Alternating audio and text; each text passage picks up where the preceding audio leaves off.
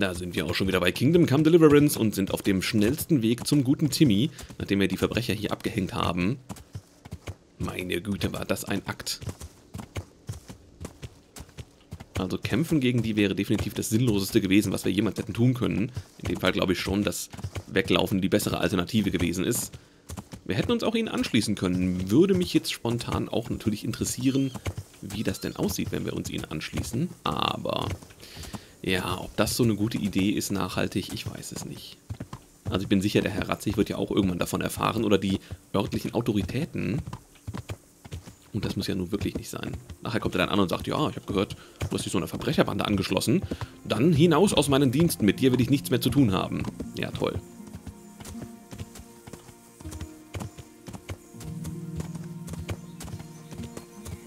So. Und vor allen Dingen stand da ja auch, ich denke mal, das war so mehr oder weniger der erste Hinweis darauf, dass man, wenn man eben böse Taten tut, die Leute sich das merken. Und ich bin mir fast sicher, dass hier mit Sicherheit mindestens einer gewesen wäre, der gemerkt hätte, dass wir böse Taten getan haben. Spätestens eben seine Schwester, also die Schwester von Timmy. Äh, die hätte er herausgefunden, wenn wir es ihm verraten hätten. Ja, und nachher heißt es dann überall weit und breit, naja, der arbeitet mit Verbrechern zusammen und der ist ein Lügner und dann will keiner mehr mit uns reden. Super. Wenn die jetzt äh, sicher hätten stellen können, dass es keine Zeugen gibt, dann wäre das was anderes gewesen. Dann hätte ich äh, vielleicht auch gesagt, ach, wer ist denn das? Guten Tag, mein Freund. Du siehst aus wie ich am Anfang. Gut, ich muss mal gerade auf die Karte gucken. Habe ich mich jetzt verritten? Nee, wir sind noch auf dem richtigen Weg. Weiß nicht genau, was das da hinten ist, aber äh, Timmy müsste hier hinten irgendwo sein. Im Wald? Ich reite jetzt mal mit dem Pferd nicht direkt in den Wald rein. Das, äh, wir bleiben da ständig überall hängen. Das will ich jetzt nicht unbedingt. Hier muss doch irgendwo ein Weg sein. Medahoyet, da ist es ja auch schon. So, die Siedlung haben wir schon mal entdeckt. Und jetzt müssen wir nur noch den guten Timmy finden. Schnellreiseort entdeckt, auch sehr schön. Einmal über den Bach. Hüps.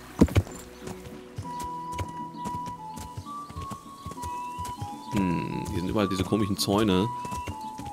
Bin mir jetzt gerade nicht sicher, ob ich hier durchkomme. Doch, ja. Timmy, Timmy. Hüps. Oh, wir haben ein richtiges Standpferd. Ich könnte ja auch einfach den Weg benutzen, aber... Ja, Wege. Wer braucht schon Wege? Oh, hier ist ein Weg. So, der muss ja da drüben in dem, in dem Hof sein, höchstwahrscheinlich. Zumindest zeigt die Karte das mehr oder weniger an. Denn, ja, ich denke, wir sind als erstes hier. Ich sehe zumindest noch keine Schurken. Da sehe ich ein Pferd, aber keine Schurken. So, mein Freund Pebbles. Oder ist Pebbles eigentlich ein Hengst oder ist es eine Stute? Hm, gute Frage. Naja gut, wir gehen mal direkt hier rein. Timmy? Bist du Timmy? Du bist Timmy! Hey, Timmy lebt! Hey, Timmy. Wie geht's? Ganz gut. Äh, kennen wir uns? Jetzt schon. Hä? Oh, scheiße. Was willst du? Ich war's nicht. Ich wollte nicht. Ich... Scheiße. Hm, wegen des Massakers. Ich sah, was du in Neuhof gemacht hast. Was redest du da? Du warst nicht dort. Ich mein, ich war nicht dort. Spar Ja. dir deine Mühe. Du warst mit dem hinkenden Heinz und Stinker dort. Ich weiß alles darüber. Was willst du von mir? Dein Spießgeselle Hinek erzählte mir, dass diese Hurensöhne ein Lager haben. Und ich will es finden. Muss es finden. Ja, aber... Aber warum soll ich dir vertrauen? Bin nicht blöd. Du könntest einer von denen sein, aber so tun, als wär's nicht so, um mich reinzulegen. Dir sag ich gar nichts. Ja, er ist ein bisschen einfach, äh, sagen wir es mal so. Weshalb sollte ich dich denn reinlegen wollen? Weshalb sollte ich dich reinlegen wollen? Herrgott nochmal. Sie haben Heinz in Uschitze gekreuzigt. Was zum Teufel soll das hier werden? Scheiße, scheiße, scheiße. Was mache ich bloß? Scheiße. Ich weiß nicht, wo ihr Lager ist. Ein Haufen Pferdescheiße. Hinek sagte, dass du dort warst und dass Pius dir einbläute, das Maul zu halten. Du musst etwas wissen. Nun, einmal war ich dort, ja. Nur war ich ziemlich voll und bin mir nicht sicher. Versuch dich zu erinnern. Es war in den Wäldern. Irgendwelchen hm. Wäldern, weißt du? Mit Bäumen und so. Da waren verfallene Häuser dort und so. In den Wäldern. Äh, da gab's eine Kirche dort. Aber eine, die, die irgendwie kaputt war. Wunderbar, besten Dank. Nun leuchtet mir alles ein. Weißt du, in welche Richtung es war? Genau nördlich von Tallenberg. Wenn du von der Burg aus Hügel aufwärts gehst, dann ist ein Weg bei so Scheunen, glaube ich. Führt zum Holzfällerlager. Wenn du bei den Holzfällern weitergehst, kommst du zu diesem verlassenen Haus da. Kannst es nicht verfehlen. Sieht wie ein Haus aus, nur verlassen. Da gehst du nach links und dann weiter, bis du zu einer Lichtung kommst mit einer Riesenbuche. Oder war es eine Eiche? Dann gehst du nochmal links. Da ist dieser enge Pfad mhm. und du gehst dem schön mhm. nach. Manchmal teilt er sich. Mhm. Du hältst dich einfach links, bis du zu einer Wegkreuzung kommst, bei dem großen, flachen Felsen. Dann gehst du geradeaus weiter, immer zu. Nach einer Weile siehst du eine Brücke und genau da ist's dann. Tja, ist wohl besser als nichts. Aber du erzählst doch keinem was davon, oder? Hast es versprochen. Ach Mist. Hab vergessen, es dich versprechen zu lassen. Ja, ich, äh, ja, komm, Timmy, ich verrate dich nicht. Äh, ich habe das Gefühl, du bist einfach zu doof, um zu verstehen, was hier passiert. Keine Sorge. Aber versuch's in Zukunft mit ehrlicher Arbeit. Wie wäre das? Danke, werd's probieren. Zumindest für meine Schwester. Das Mädchen bei der Windmühle? Jawohl, Mirka. Hast du mit ihr gesprochen? Was sagt sie? Sie sagte mir, dass du dumm wie Brot bist und dich ständig in Unsinn mit reinziehen lässt. Echt? Ja, da hat sie wohl recht. Hm, da hat sie absolut recht, wenn wir das hier so betrachten. Naja, sei es drum. Gut, wir haben die Informationen, wo das Räuberlager sein soll. Ich hoffe, ihr, habt alle mitgeschrieben. Ich äh, habe auf jeden Fall mitgeschrieben. Nein, habe ich natürlich nicht. Äh, ich habe keine Ahnung, wie wir da hinkommen sollen. Irgendwo nördlich von Tallenberg. Hier, im Wald irgendwo. So, das nächste, was wir jetzt machen müssen, auf jeden Fall Herrn Ratzig berichten, wo sich das Banditenlager befindet. Und glücklicherweise ist der Herr Ratzig, der ist ja äh, vorhersehbar, äh, beziehungsweise er hat es ja uns auch gesagt. Äh, wie nennt man das eigentlich, wenn jemand etwas vorhersieht? Er, er vorherseht. Er sieht vorher? Er, keine Ahnung. Jedenfalls hat er gesagt, er ist in einem Lager vor Merhoyet. Das heißt, das macht uns den Weg natürlich deutlich leichter. Der hätte uns doch eben mal helfen können. Wir hätten dem doch vorher sagen können, pass mal auf, Herr Ratzig, äh, da gibt es ein Problem mit ein paar Wegelagerern, die uns auf der Mühle auflauern. Wir wissen zwar noch nicht, dass sie kommen, aber aus einem vorherigen Leben wissen wir, dass sie da waren. Bitte schickt doch mal ein paar Leute rum, die uns helfen. Denn die hatten sehr interessante Rüstung, muss ich gestehen. Und ehrlich gesagt würde ich die Rüstung gerne haben. Vielleicht bekommen wir nochmal die Gelegenheit, den einen oder anderen von denen zu töten, äh, ja, zu töten, äh, und für Gerechtigkeit zu sorgen und uns währenddessen eine Rüstung anzueignen. Sieh an, hier ist ein Lager. Und das sieht mir schwer nach einem militärischen Lager aus. Ja, hier muss dann irgendwo der Herr Ratzig sein.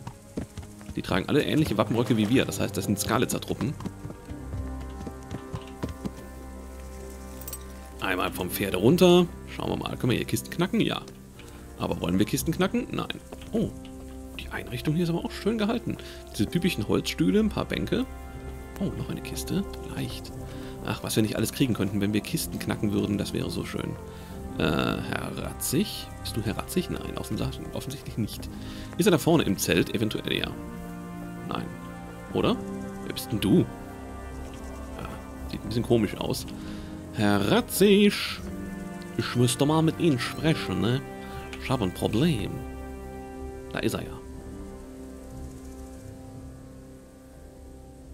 Sei gegrüßt. Wieso bist du hier? Hm, der Pfarrer dort ist eigenartig. ich war ein U-Schütze und der Pfarrer dort ist äußerst seltsam. Er kann ein Schwert führen. Weißt du etwas über ihn, Herr? Godwin? Ja, ein faszinierender Bursche. Er ist der jüngste Sohn eines der Herren von Kuttenberg. Er wurde in die Klosterschule geschickt, um Pfarrer zu werden, wie für den jüngsten Sohn üblich. Aber er fand keinen Gefallen daran. Also wanderte er nach seinem Studium umher, anstatt in seine Gemeinde zu gehen. Er hatte wohl ein recht aufregendes Leben. Eines Tages kam er zurück und ließ sich nieder. Hanusch weiß sicher mehr über ihn. Na gut. Wegen des Banditenlagers. Wegen dieses Lagers, Herr. Was gibt es, Junge?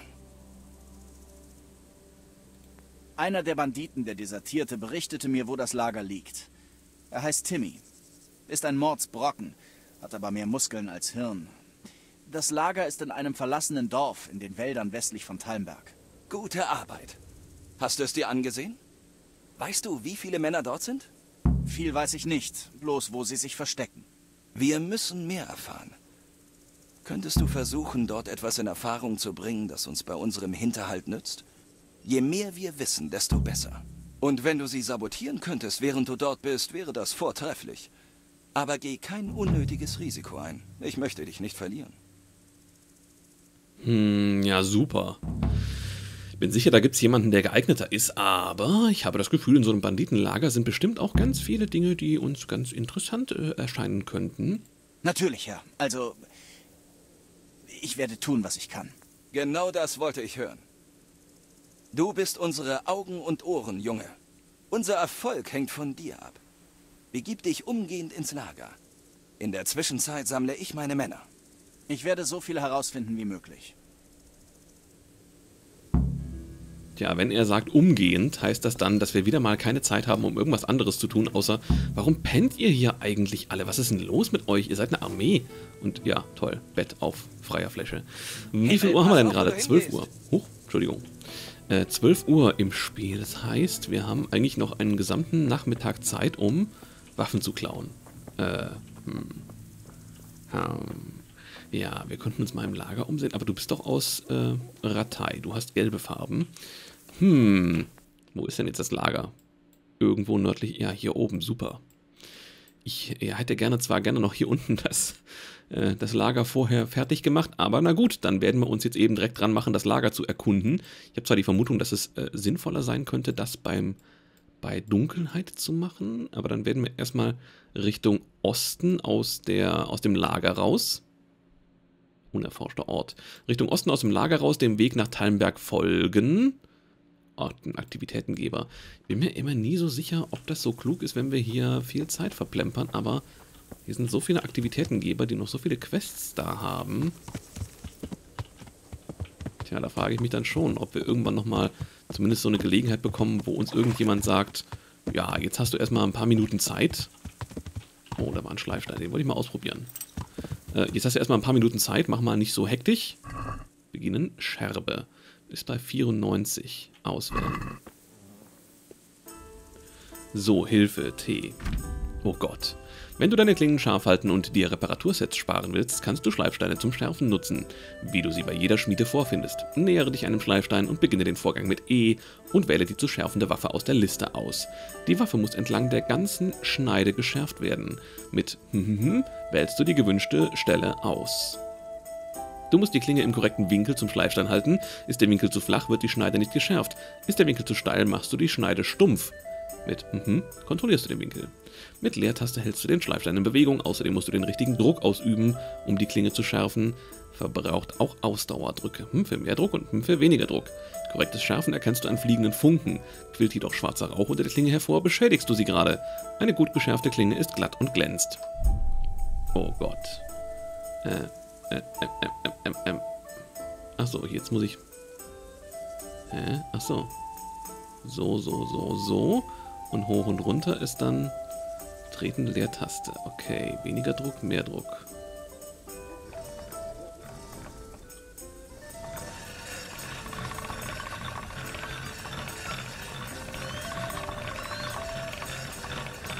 Es fliegen Funken. Eigentlich müsste jetzt alles in Ordnung sein.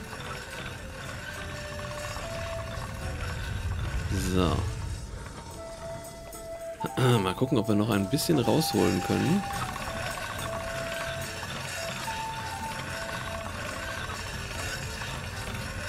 So.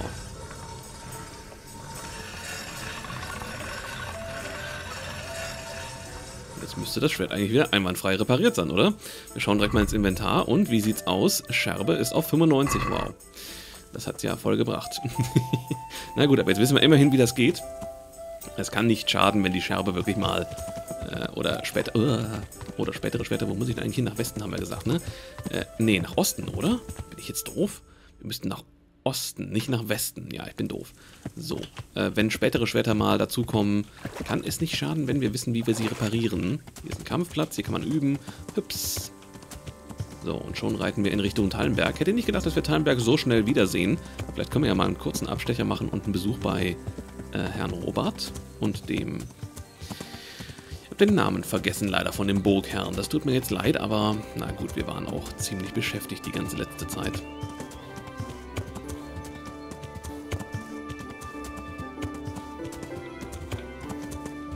Da ist zumindest schon mal ein verbranntes Haus.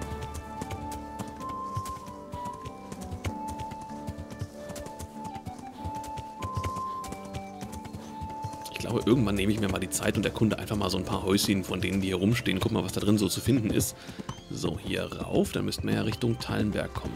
Und Schatzjagd. Vor allen Dingen Schatzjagd ist eine Sache, die würde ich gerne spätestens in der nächsten Folge, also, was heißt in der nächsten Folge, spätestens nach dieser Quest hier einmal angehen. Denn äh, wir haben noch vier oder fünf Schatzkarten, die wir mal... Ja, auf Tür. Kann ich die nicht... Kann ich die nicht öffnen mit Gewalt? Offenbar nicht. Nun gut, sei es drum. Ja, ich würde gerne Schatzkarten äh, jagen. Wir haben fünf Stück im Inventar. Wir haben eine noch dazu gekauft. Das heißt, wir haben eigentlich genug, um endlich mal ein bisschen Ausrüstung zu sammeln. Bin mir jetzt gerade nur nicht so sicher, ob man beim Schatzkartenjagen dann äh, Kisten findet oder muss man irgendwas ausgraben. Muss man die Kisten dann auch knacken, weil im Schlösserknacken sind wir bei weitem nicht so gut, wie wir sein könnten. Äh, da müssen wir eventuell mal zu einem Müller gehen und uns da ausbilden lassen. Ist das da unten schon Tallenberg? Ja, das ist Tallenberg. Ah, Home Sweet Home. Ja, da ist die Burg von Tallenberg, auf der wir einige Zeit verbracht haben, weil wir nicht rausgekommen sind. Dann könnten wir ja eigentlich auch nochmal in Scarlets vorbeischauen.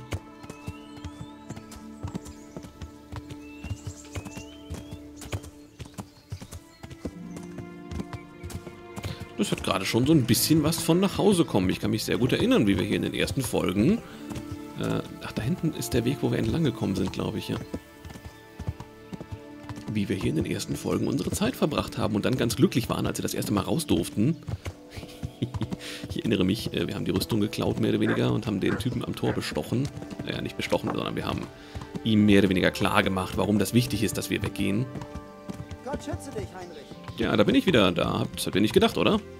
Dass ich nochmal wiederkehre. Tja.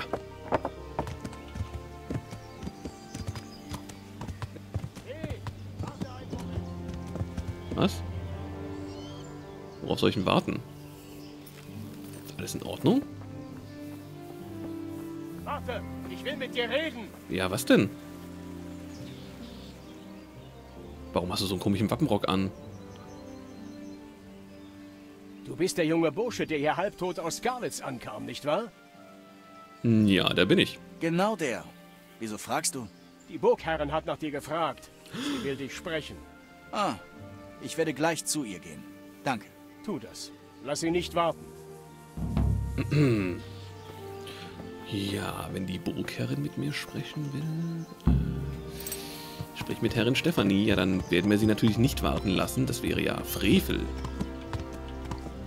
Und ich glaube, jetzt komme ich ja auch ohne Probleme in die Burg rein und wieder raus. Also. Hm. Aber was könnte sie von uns wollen? Ist denn alles in Ordnung oder ist noch irgendwas Schlimmes passiert? Oder möchte sie eventuell gewisse Gespräche fortsetzen, die damals in Dunkelheit mit Wein begonnen wurden? Ja, ich erinnere mich auch daran sehr gut. Neue Stufe im Reiten, sehr schön. Da bin ich wieder. Hättest du nicht gedacht. Ja, willkommen. Hätte nicht gedacht, mich wiederzusehen, ne? Aber so ist das, so spielt das Leben. Ich komme wieder und habe eine deutlich bessere Rüstung als die, die ich hier geklaut habe, äh, mir geliehen habe. Ich lasse das Pferd jetzt aber mal hier stehen. Ich werde das nicht da vorne in den Stall stellen. Wo ist denn die Herrin? Du bist das nicht, ne? Nee. Ach ja, ich erinnere mich. Ich, hey, Heinrich kommt uns besuchen. Ja, der Heinrich kommt. Ach, jetzt laden auch endlich seine Texturen. Meine Güte. Wo ist denn die Herrin Stefanie? Hier ist auch noch ein Bett. Hier ist immer noch mein Bett. Sehr schön. Ähm, dann werde ich mal kurz hier raufgehen, hinter dem Wächter hinterher. Sie muss ja wahrscheinlich da oben irgendwo sein, oder steht sie auf der Mauer? Guck mal gerade auf der Karte. Kann ich nicht in Tallenberg reinzoomen? Doch, jetzt kann ich's. Äh, ah, wo ist sie denn? Wo ist sie denn? Herrin Stefanie? Tja. Äh, stimmt, das A zeigt gar nicht die Quest von Herrin Stefanie an. Da ist sie doch. Und da sind auch die anderen beiden. Gott schütze dich. Kann ich dir helfen? Ich hörte, du willst mich sprechen. Ich hörte, du willst mich sprechen, Herrin. Das stimmt. Du musst mir bei etwas helfen. Was kann ich tun? Meine Base, die junge Sophie, wird bald heiraten. Für sie beginnt ein neues Leben und ich will, dass sie einen herrlichen Tag hat. Ich brauche ein paar Geschenke für sie und du wirst sie für mich beschaffen. Herrin, aber warum ich? Ich würde ja den Kämmerer damit betrauen, aber er besitzt keinen Funken Geschmack. Ausgeschlossen. Und es heißt, dass du dich jeder Herausforderung stellst. Ist es nicht so? Ähm, ja, ich soll gerade ja auch nur ein Räuberlager auskundschaften, aber eine Dame soll man niemals enttäuschen. Es wäre mir eine Ehre, Herrin. Hole folgende Dinge für mich ab. Ein Diadem aus Sasau, erlesenen Wein von einem Händler in Ratay und ein Pferd aus den Uschitzer Ställen. Ja, ich habe das Gefühl, das wird eine lange Quest. Wo genau soll ich den Wein abholen? Bei Konrad Hagen in Ratay. Er ist der Einzige in der ganzen Region, der einen wirklich guten Tropfen beschaffen kann. Und glaub mir, ich weiß, wovon ich rede. Hier, bitte. Das sollte ausreichen. 19 Groschen für Wein, na gut. Und was ist mit dem Diadem? Und was ist mit dem Diadem? Ich habe es in Sasau in Auftrag gegeben, aber nun hat man mir geschrieben, dass es länger dauert. Wie stellen die sich das vor? Die Hochzeit steht bevor und ich brauche das Diadem. Besuche Meister Jerome von Schlesien und hole es ab. Warum rede ich eigentlich die ganze Zeit mit einem Rücken? Wo ist das Du Pferd? sagtest, äh, ein Pferd aus Uschitze? Richtig. Ein wundervolles Tier. Warte nur, bis du es siehst. Dietrich wollte es selbst herreiten, aber er wird sich noch das Genick brechen, wenn ich das zulasse. Du hingegen, so jung und voller Kraft. Ich werde das Gefühl nicht los. ja, Wein, ein Pferd und ein Diadem. Das schaffe ich. Hab Dank, Heinrich. Ich wünschte, ich könnte anderen hier genauso vertrauen. ja, äh, jetzt haben wir ein Problem. Herr Robert, hast du auch was zu sagen? Wir haben uns lange nicht mehr gesehen, oder? Das ist jetzt schon ein Wiedersehen nach Es langer ehrt mich, Zeit. dass ein Ritter wie du sich für mich interessiert. Äh, bitte was? Ich bin überhaupt kein Ritter. Ich habe Trophäen. Zeig her. War das das Ohr des so Kommandia? viele. Junge, du wütest, als wärst du Gottes Vollstrecker. Das bin ich auch. Herr Robert und Herr Divisch war das, genau, ich erinnere mich. Sei gegrüßt. Was brauchst du? Ich äh, wollte nur mal, ja, Gott mit dir, Herr. Ich hoffe, in deinem Lehen ist alles friedlich. Friedlich? Wohl kaum in diesen Zeiten. Aber im Moment macht mir die Politik mehr Sorgen als der Krieg. Was ist los? Das Kloster hat den Einkauf von Stein und auch den Bau insgesamt gestoppt. Sie behaupten, dass es an der Qualität der Steinblöcke liegt. Aber das glaube ich nicht. Irgendwas ist da faul. Für mich sieht das eher nach Geschäftemacherei aus. Was ist denn nicht in Ordnung mit dem Stein? Angeblich gab es einen Unfall. Ein Stück soll losgebrochen sein und jemanden erschlagen haben. Aber der Steinbruchmeister schwört, dass das unmöglich ist. Er sagt, er schickt nur die besten Blöcke und ich glaube ihm. Er ist ein verlässlicher und erfahrener Steinmetz. Was wollen die Mönche mit ihrem Verhalten erreichen? Den Preis drücken. Obwohl sie eh schon so wenig bezahlen müssen. Und dann bezahlen sie nicht einmal pünktlich. Oder schlimmer. Schlimmer? Du meinst, sie werden gar nicht mehr bezahlen? Gut möglich. Sie wollen aus dem Vertrag aussteigen und einen noch günstigeren Steinbruch finden. Und die angeblich schlechte Qualität des bisherigen Steinbruchs soll das rechtfertigen. Und befasst sich jemand mit dem Problem? Nun, mein Kämmerer sollte sich damit befassen, aber er hat nichts weiter getan, als dem Kloster einen Brief zu schicken. Er meint, sie unter Druck zu setzen, könnte sie provozieren. Gibt es denn sonst nichts, was getan werden kann? Ich weiß nicht. Ich denke über einen etwas äh, direkteren Ansatz nach. Auf dem Ohr ist mein Kämmerer jedoch taub. Er wird bloß weiter in höflichen Briefen salbadern und hoffen, dass es etwas bewirkt.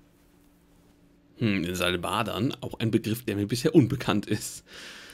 Kann ich irgendwie helfen, wenn ich schon mal hier bin? Ich könnte doch helfen. Aber du stehst ja nicht einmal in meinen Diensten, Heinrich.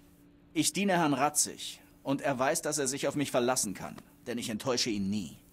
Wohl wahr. Du willst also nach Sasa und dich wegen der Steine umhören? Ja. Ja, ich erledige das. Gut. Befrag die Mönche zu der Sache mit dem Stein und spitze die Ohren. Vielleicht reden sie ja über einen anderen Steinbruch.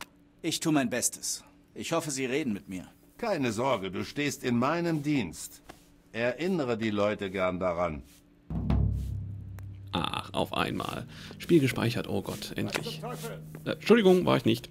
Ähm, begib dich zum Kloster und befrage die Leute zum Unfall, sprich mit Herrn Dewisch über den Vorfall beim Sarsauer Kloster.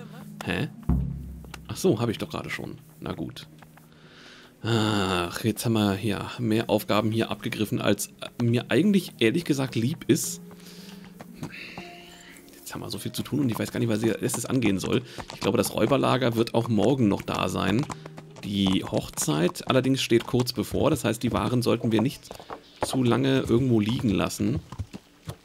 Genauso wie mit den Steinen. Wenn wir dann schon mal in Sarsau sind, um das Diadem abzuholen, was wir ja ohnehin machen müssten, könnten wir da ja auch direkt mal die Ohren offen halten. Wobei, jetzt sind wir schon mal hier am Lager. Äh, pass auf, wir könnten das folgendermaßen machen. Wo ist denn überhaupt Sarsau? Ich habe Sarsau noch gar nicht entdeckt. ja, super, das wird wahrscheinlich hier unten irgendwo sein. Merhoyet, Uschitze. Ja, Uschitze liegt ja auf dem Weg. Wir machen jetzt folgendes. Wir reiten jetzt erstmal zum Lager und kundschaften das aus. Ich hoffe mal, bis dahin wird es Nacht. Sonst warten wir eben, bis es Nacht wird. Und wenn wir das Lager ausgekundschaftet haben, müssen wir ja wahrscheinlich sowieso nochmal zurück zu Herrn Ratzig. Das heißt, wir verbrauchen nur einen Abend und können dann von dem Lager aus zu Herrn Ratzig nach Hause gehen. Der ist ja in Merhoyet. Von da aus gucken wir mal, wo Sasau liegt. Das müsste ja hier unten irgendwo sein. Wahrscheinlich zeigt uns das die Quest letztlich auch an. Dann gehen wir nach Sasau, dann gehen wir nach Ratei, holen den Wein. Dann gehen wir nach Uschitze, holen das Pferd und gehen dann wieder zurück nach Talmberg. Klingt nach einem Plan, oder? Wir gehen einmal groß den Kreis entlang. Ich habe das Gefühl, die Kühe da hinten sind gerade vom Himmel gefallen. Ha. Gut, wir reiten mal querfeld ein.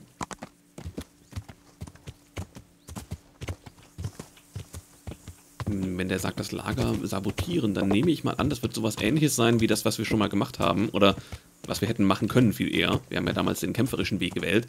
Äh, nämlich sowas wie Wein vergiften oder Leute, ja, unerkannt ausschalten. Ich glaube, dafür werden wir die Rüstung ausziehen müssen, denn die ist eher hinderlich, wenn wir uns leise bewegen müssen. Und ein bisschen Dunkelheit wäre auch nicht schlecht.